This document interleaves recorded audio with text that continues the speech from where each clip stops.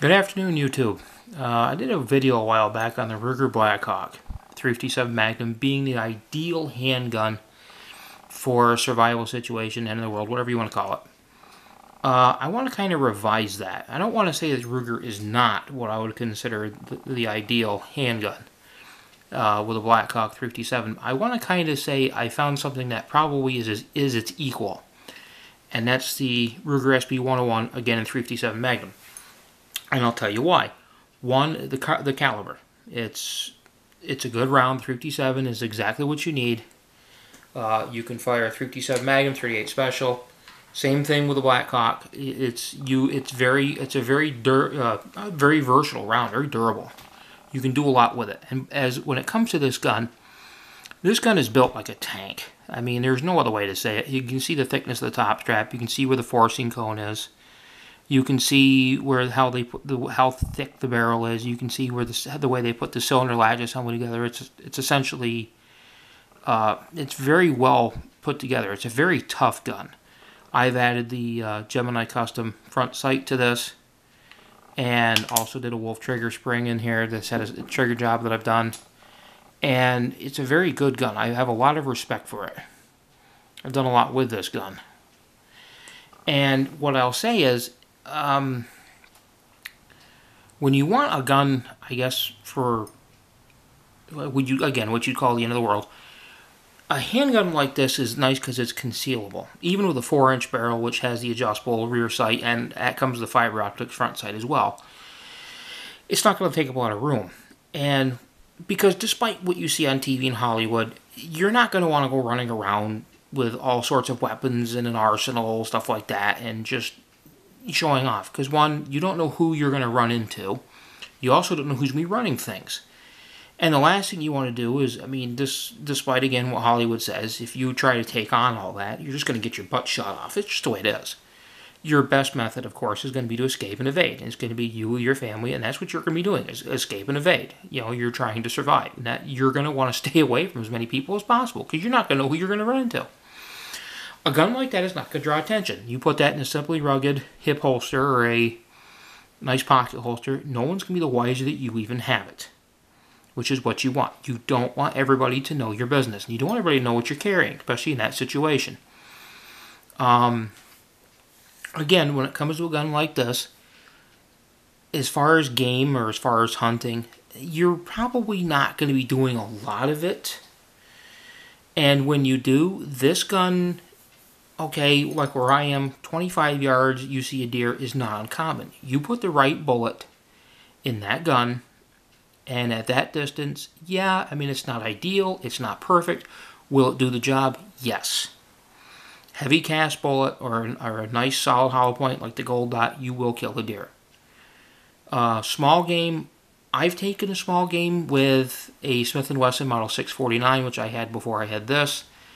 Last year I shot a squirrel at about 10 yards. and It wasn't because I wanted to, it was because it was in a spot where a shot shell was just a good a good idea. It's what I had on me.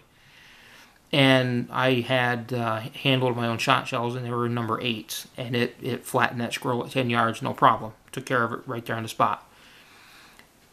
It'll do the job.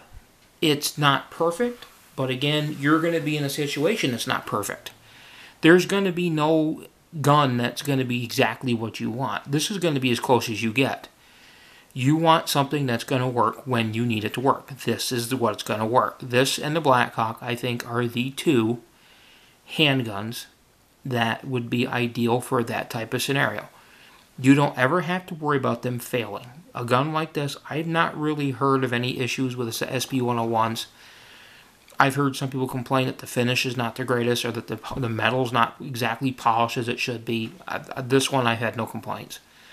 And again, right now, this is not what I would call a politically incorrect gun. They're all technically politically incorrect to the people that want to ban them. But right now, this is not on the radar. Not yet. I think eventually you'll get to it just like everything else. But right now, you can find these. These are about $500. Again, this is a two and a quarter inch barrel. You can get a three inch barrel, or you can get the four inch barrel with the adjustable rear sight. That one would probably be the best scenario. It'd be concealable, you have the durability and you have an adjustable sight which you could probably stretch the range out to about 25 30 40 yards if you people who know how to shoot a handgun can get some distance out of them this gun at 25 yards even with that front sight and with the single action you can really get some decent accuracy out of this gun i've already tried it it's not a problem to stay within say six or eight inches at 25 yards with this gun you just know how to have to know how to shoot it. Again, I've also adjusted the trigger on this. It, you know, it's not a, a, huge jump, but it can be done.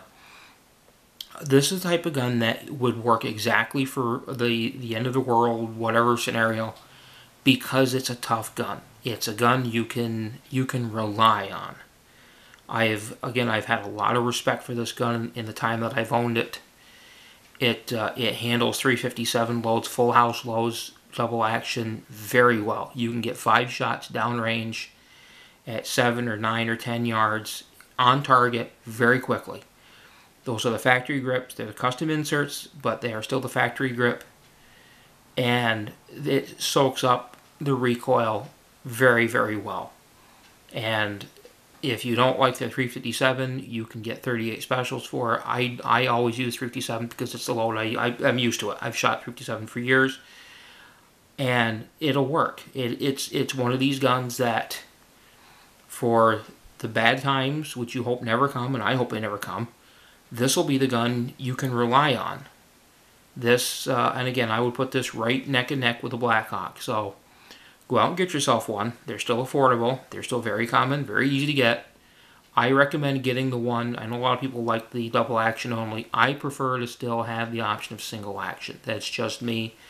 It's the way I learned to shoot. I know for concealed carry, everybody says, no, you don't need a hammer on it. It's never bothered me and it's never had to been an issue. So go out, get yourself one of these. It'll be the handgun, either this or the Blackhawk, that you can rely on. Also, if you've noticed this little guy here in the background, I've got a video coming up on this. This is the Ontario 20, or excuse me, a 12 inch machete. They call it a camping machete. Um, I think it's probably one of the nicest tools I've seen. So there's going to be a video coming up on that as well. So go out and get yourself one of these, get some range time in, try out different loads, and you'll see what I mean. And if you want, like I said, replace that front sight, that uh, that Gemini custom front sight makes a world of difference. So go out and do that, get yourself one, and until then, have a have a good day, YouTube, and keep shooting.